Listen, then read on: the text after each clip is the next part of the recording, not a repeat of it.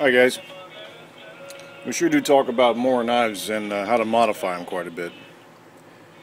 So uh, I wanted to talk about the ones that I chose. First one that I bought was a uh, companion, just a standard one. Honest to goodness, for uh, what was it, 14 $13? You can't beat this knife. So since I've had this knife, I have uh, used it really, really heavily. I've used it out in the garden to uh, to cut vegetables, to uh, to put them in the bucket.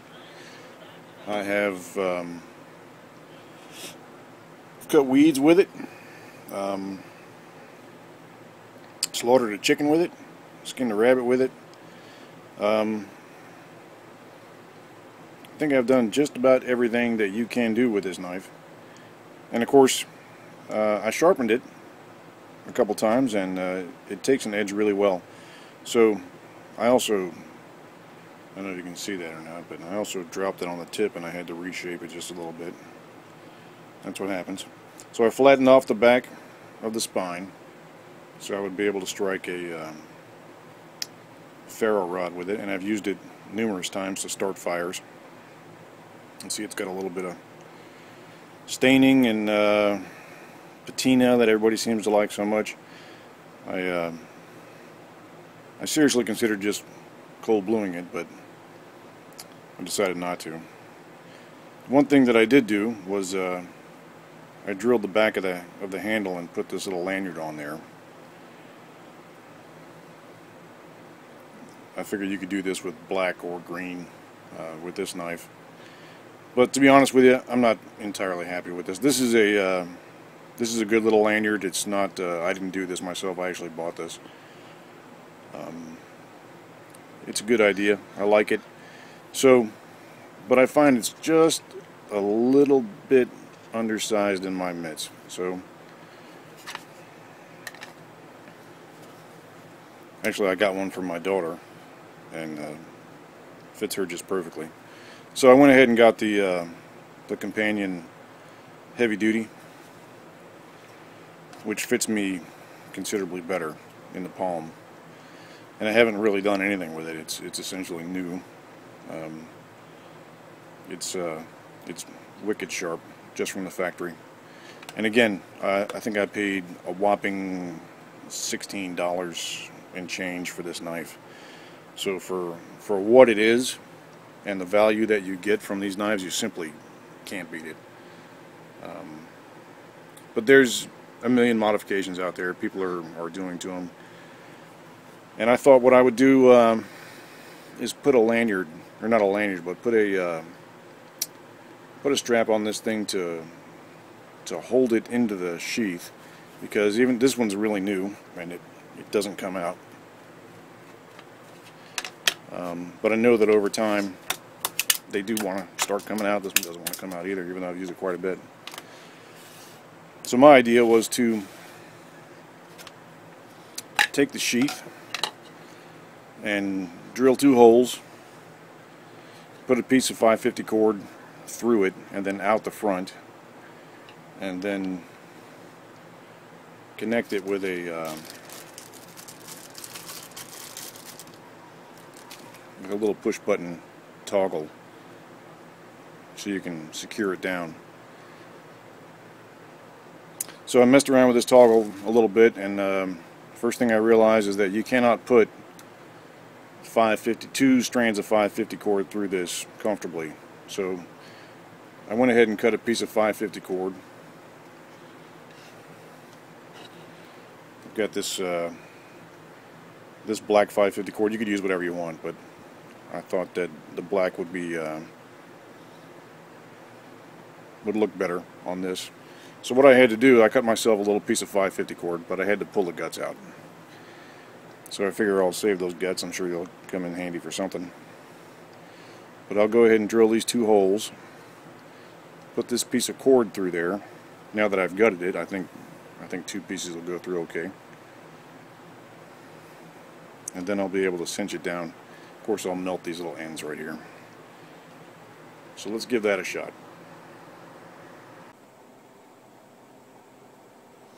Alright, so I figured out where I wanted to drill my holes. And because I didn't want to drill it all the way through the plastic, I put a little piece of uh, wood in there behind it. This is a, uh 3 16 drill bit. I think that's about the right size. If not, we'll go a little bit higher. So what I did was I, I put the knife in there and I kind of looked at where I wanted the 550 cord to come out. So this is about where I...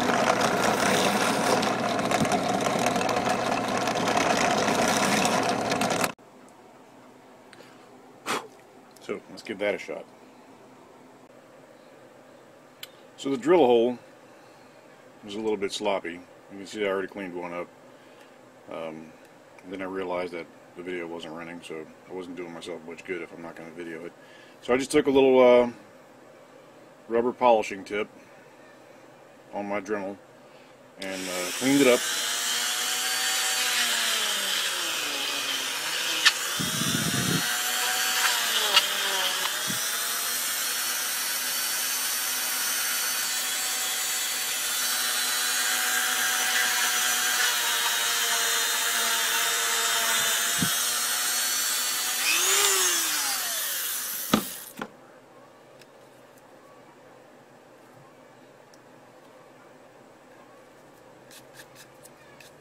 Yeah, that looks better. So,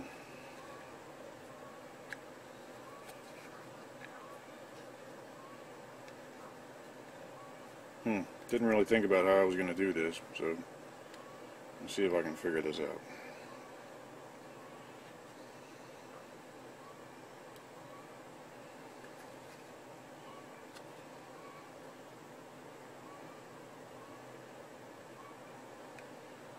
Yep, I need a tool. Let me see what I got here. There Let's try that.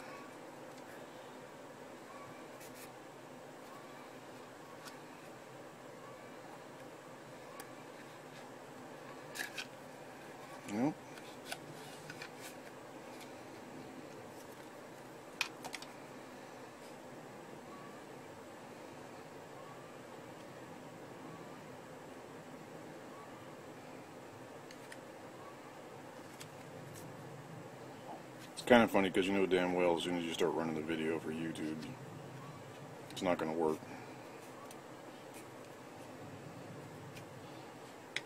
There we go. There's one side.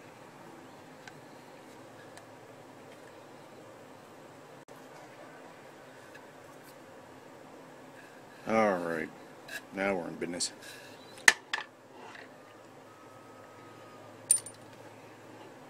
So just to make the rest of this not as painful, I think I'm going to go ahead and trim these up.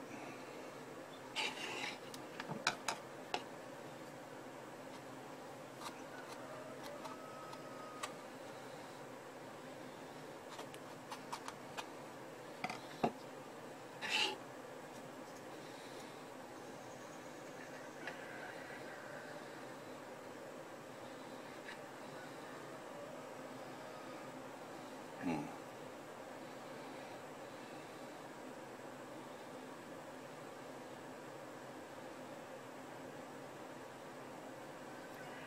There we go. One side.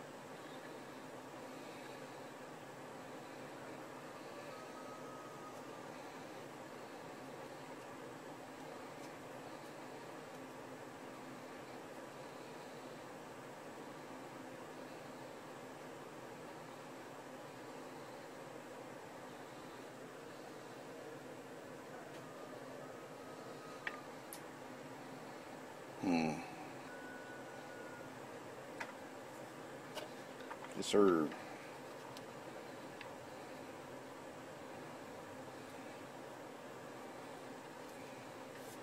All right.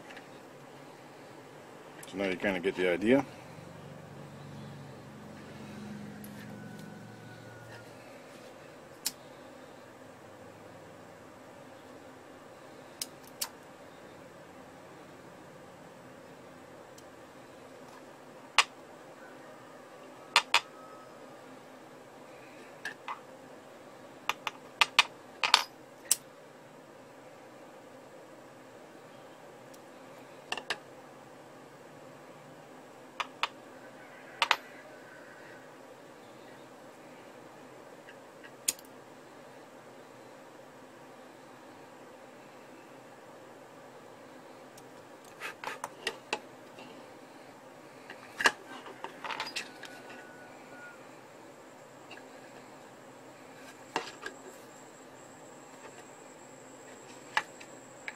Give that a try.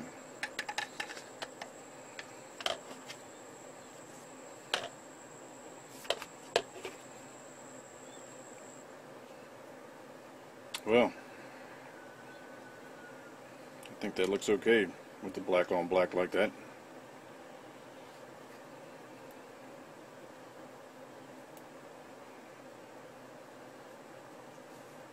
So, I know this was a little bit long. You guys had to suffer through me screwing around with uh, getting them all done and everything, but I'd like to hear your thoughts and tell me what you think. I'm also considering putting a, uh, a rifle sling swivel stud in the very top of this Mora so that I can put another lanyard on top of it. So this way when you want to use this knife you can just open it up, pop it out, put it back in, cinch it up,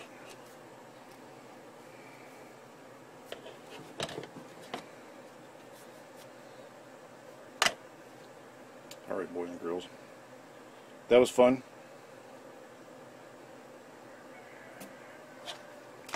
If this video was entertaining, please uh, like. If you're a Mora knife kind of guy, I'm going to do some more of these. I do knife videos from time to time, so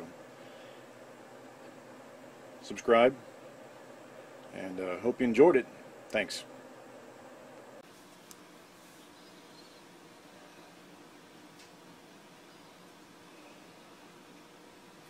Hiya. Hiya. Hiya. I love all those Ginsu commercials where they want to make you believe that their knife is the sharpest thing in the world. You know? But let me tell you, no kidding, this is a sharp knife. Hmm. That looks really yummy. By the way, I decided to go ahead and tie a couple of knots in the end here, just to make it a little more aesthetically pleasing.